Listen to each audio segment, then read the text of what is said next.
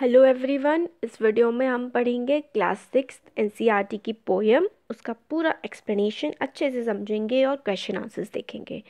तो इसमें बताया गया है ब्यूटी क्या होती है। अगर आप ब्यूटी को डिस्क्राइब करने की कोशिश करें, बताने की कोशिश करें तो आप किस तरीके से बताएँगे? तो यही पोएम में बताया गया है। तो beauty is seen in the sunlight. तो जो ब्यूटी है, उसको सुंदरता को देखा जा सकता है कहाँ पर? धूप में, सूरज की रोशनी में। The trees the birds corn growing and people working और डांसिंग फॉर देयर हार्वेस्ट तो जो ब्यूटी है, उसको देखा जा सकता है धूप में, पेड़ों पर और जो ये चिड़िया और ये सब बोलते रहते हैं ना पक्षी, इनमें और खेतों में देखा जा सकता है, जब लोग जो हैं, उन खेतों में काम कर रहे होते हैं, मेहनत कर रहे होते हैं लोग। और एक तरीके से देखा जाए, कह सकते हैं हम कि डांस कर रहे होते हैं। ये देखकर कि जो उनकी फ़सल है, उनकी जो पैदावार है, वो पकने वाली है, उसको देख कर के वो खुश हो रहे होते हैं। तो उसमें हम ब्यूटी को, सुंदरता को देख सकते हैं। तो देखिए कॉर्न ग्रुपिंग कॉर्न ग्रुपिंग का जो फ़सल होती है ना, हमारी कॉर्न की फ़सल कॉर्न भुट्टा? भुट्टा कहते हैं ना, जिससे बनता है, वही होता है हमारा कॉर्न की फ़सल, एक अनाज होता है। हार्वेस्ट का मतलब होता है जब फ़सल की कटाई होने वाली होती है, उसे बोलते हैं। तो ये इन सब चीज़ों में, धूप में ट्रीज़ में, चिड़ियों में, लोगों में, खेतों में हम ब्यूटी को देख सकते हैं। फिर आगे है इसमें beauty is heard in the night हम ब्यूटी को, पहले हमने देखा था सनलाइट में देख सकते हैं। अब ब्यूटी को हम रात में भी सुन सकते हैं। Wind sighing rain falling wind जो एकदम से बहती है ना, जो हवा की साए साए जो आवाज़ होती है, उसको सुन करके हम ब्यूटी उसमें देख सकते हैं, सुन सकते हैं।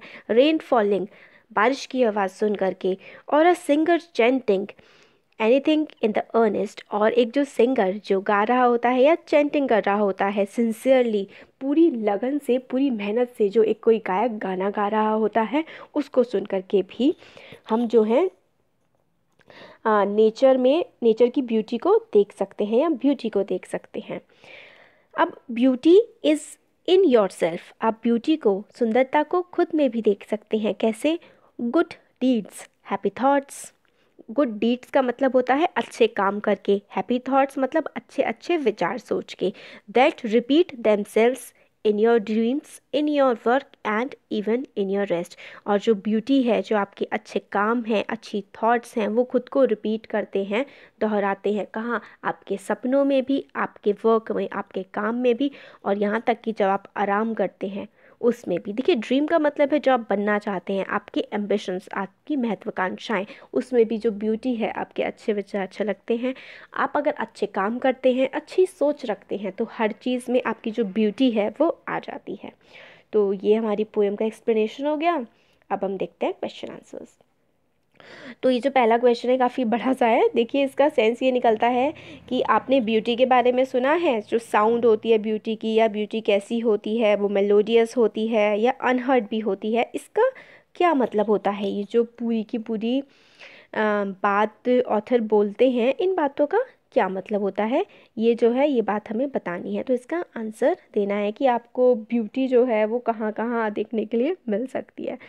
तो ब्यूटी आपको बहुत सारी जगह मिल सकती है, जैसे कि वी फाइंड ब्यूटी और मेलोडियस टोन आवाज़ें in the sighing of winds in the voice of nightingale that are pleasing to our ears और we find beauty in trees in rivers in the sunlight in the moonlight इस तरीके से आप बता सकते हैं कि ब्यूटी जो है आपको नेचर में बहुत सारी जगह देखने के लिए, सुनने के लिए मिल सकती है। फिर नेक्स्ट है read the first and the second stanzas of the poem again फिर से हमें फ़र्स्ट सेकेंड स्टेंजा को पढ़ना है. नोट द फॉलोइंग फ्रेजेस ये जो फ्रेजेस हैं, उनको corn growing people working and dancing wind sighing rain falling singer chanting these could be rewritten as corn that growing people who are working and dancing can you rewrite other phrases like this तो देखिए, जैसे कौन growing को आप कौन that is growing करके लिख सकते हैं? पीपल वर्किंग और डांसिंग को people who are working and dancing बाकी जो फ्रेजेज हैं, उनको कैसे कैसे आप लिख सकते हैं? तो जैसे कि अदर फ्रेजेस आप एग्ज़ाम्पल के लिए लिख सकते हैं, जैसे स्ट्रीम फ्लोइंग या फिर बेबी क्राइंग या फ्लावर्स फ्लावर ब्लॉसमिंग और बर्ड्स सिंगिंग रेन फॉलिंग इस तरीके से आप जो है वो लिख सकते हैं। फिर फाइंड पिक्चर्स ऑफ़ ब्यूटीफुल ये तो इतना कुछ नहीं है। Write a paragraph about beauty तो क्वेश्चन आंसर्स ऑलमोस्ट इसी में कंप्लीट हो गए हैं ब्यूटी के। आप इसके, ये पोएम अच्छे से देख लीजिए क्या क्या है? इसका नाम पोएट का नाम ए यश है। और पोएम में क्या क्या बताया गया है? थॉट्स के बारे में बर्ड्स के सनलाइट मूनलाइट इस तरीके से विंड ब्लोइंग विंड साइन का मतलब है सर सर करके चलना, हवा का, और रेन का गिरना सिंगर्स का गाना गाना। और अच्छी थॉट्स अच्छी काम, ये सारी की सारी चीज़ें हैं। इसके आंसर्स में आप ऐसे लिख सकते हैं। तो थैंक यू हो गया कंप्लीट